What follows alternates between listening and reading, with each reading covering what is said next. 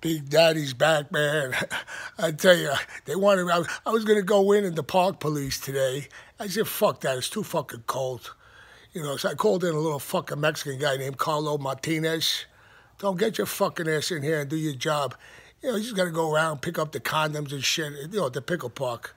But we gotta have our own park police. They won't let us have a pickle park no more without having police there, and they don't want a fucking police supervisor, so we gotta hire our own and we can't put Suffolk County on it. We just got to have park police. But, you know, it does the same job. So Carlos Martinez is down there right now picking up dirty condoms.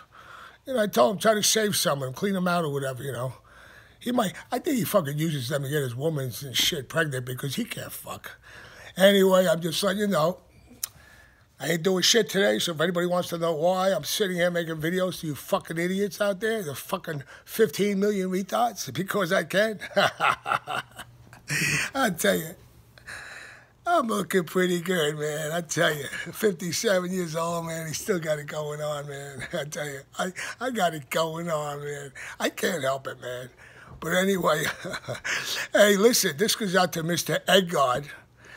I want to apologize to you deeply because actually I, I think you should be the CEO of the fucking NOE because you are the most undercover guy ever in my life on YouTube. The only guy I never figured out. I mean, that's, I mean, and you're the best. I mean, I'm telling you, man.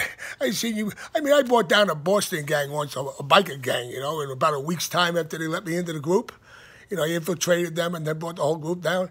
But you fucking brought down so many people and you chased so many fucking losers away. I mean, they were afraid of the eggs. I, you know, I guess they didn't want to get egged, but they got scared. Say they thought I was there. I go, I'm not the fucking egg. I'm not that talented. I mean, but I'm telling you, you kick more ass. Nigel, listen, you got to give it to the eggs, Mr. Eggard, because the eggs did more damage than anybody else on this fucking site. They cleaned house.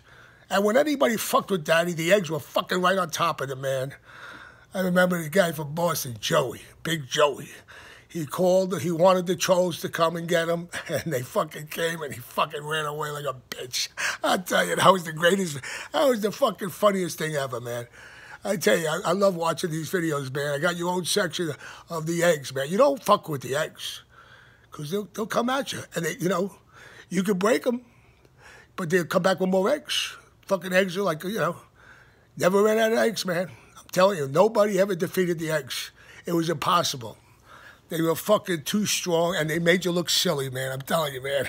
I tell you, I was. I'm glad I was friends with the eggs all these years, man, because I mean they were the best. I mean they. And the monk used to get mad. He, he, he thought he was better than the eggs. I go, you play with fucking puppets, motherfucker. Like that Nigel Cuomo guy. These fucking egg guys, they, they don't play with puppets. They, they put fear into you, man. I'm telling you, they fear you, man. I mean, they break you. They, I mean, I've seen them break so many people, man. Peace out, everybody. Uh, I'm not gonna make another video today because I'm not getting paid for this shit. You know. I just want to say hello to Mr. Egg Guy, man. He's my fucking god on here. And you're not Tom Kennedy. And get that through your fucking head, man.